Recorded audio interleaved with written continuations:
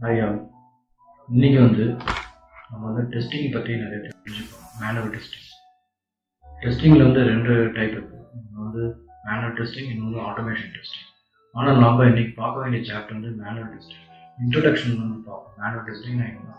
என்ன பர்பஸ்க்காக அவங்க டெஸ்டிங்னு சொல்லிட்டு பண்ணுறாங்க எதுக்காக ப்ராஜெக்டை டெஸ்டிங் பண்ணுறாங்க ஸோ ஒரு கம்பெனியில் வந்து ஃப்ரெஷராக ஜாயின் பண்ணுறவங்க வந்து ஒரு டெஸ்டிங் டீமில் ஒருத்தர் ஜாயின் பண்ணுறாங்கன்னா அவங்க வந்து தெரிஞ்சுக்கிறதுக்கு வாய்ப்பு இருக்காது.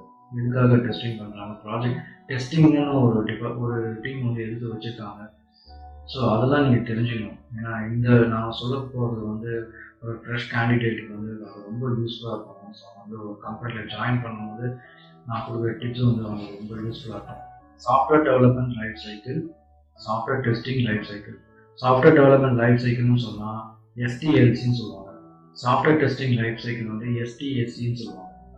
So software development life cycle என்னங்கிறது வந்து நம்ம வந்து ப்ரீஃபாக உங்களுக்கு நான் எக்ஸ்பிளைன் பண்ணுறேன்